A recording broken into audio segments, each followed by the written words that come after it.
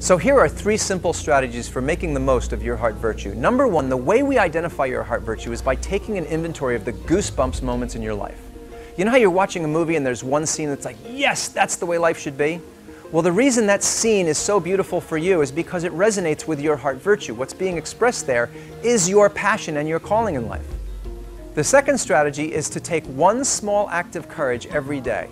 Think of where you'd be if you just stretched a little bit every day, one phone call, one meeting, one document, in alignment with the world that you want to create. A courageous call to someone that you don't even think will give you the time of day. If you did that every day, where would you be in a year? The third strategy is we live in a survival mode most of the time. Our brain is telling us don't, hold back. But let me tell you something about your brain.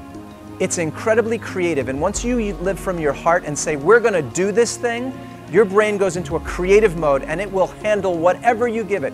You can bite off more than would be humanly possible, and your brain will figure out a way to accomplish those goals.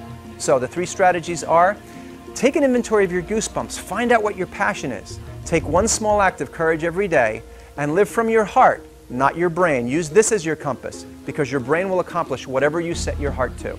There is one great obstacle to living in alignment with your heart virtue and living from the inside out and it is basically the fear of being a fool. Gandhi, Martin Luther King, Abraham Lincoln, Mother Teresa.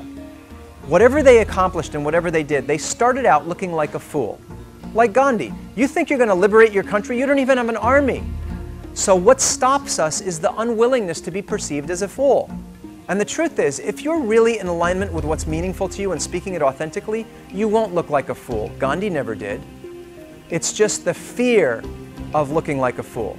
And let me tell you something about that fear. It's not fear, it's excitement. What's the difference between fear and excitement? You know, two people jump off a bridge with a bungee cord tied around their ankles. One of them screams, ah! The other one goes, wee! So when I'm asking you to go out and take one small act of courage every day, what I'm really asking you to do is be willing to be perceived as that fool because it's the only thing stopping you. If you do that, you're going to learn something in every conversation. There are winners and there are learners, so you can't lose. Go for it.